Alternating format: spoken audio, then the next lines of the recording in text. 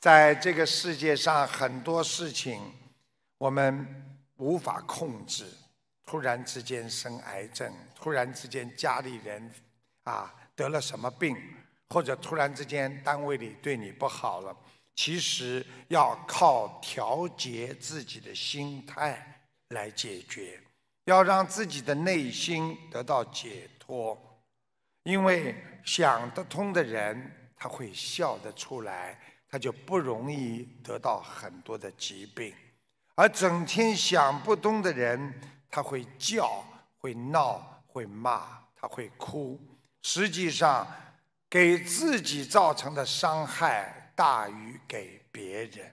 所以，看得破、放得下的人，会活得很自在、快乐；整天难过、忧郁、烦恼。会活在现实的地狱当中。台长告诉大家，我们在人间要学会修三福田，有三个福气的田，只要你好好的耕耘，你以后一定会有福气。很多人经常说，为什么他有福气，我没有？别人都在修福田呢。第一福叫常养善根，就是心中经常要善良，经常善良的人，他的善根一定很善，这个人以后会有福气。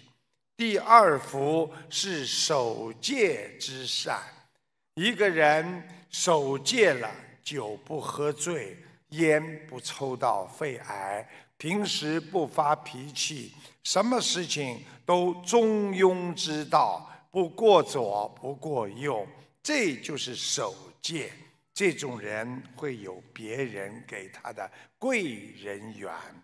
第三福是行善之人，做人要懂得付出，懂得帮助别人，懂得爱护众生。所以，一个人能够一辈子去帮助别人，他以后年纪大了，一定会有很多人来帮助他。所以，守戒之人智慧人生，常养善根，不迷惑，得长寿啊。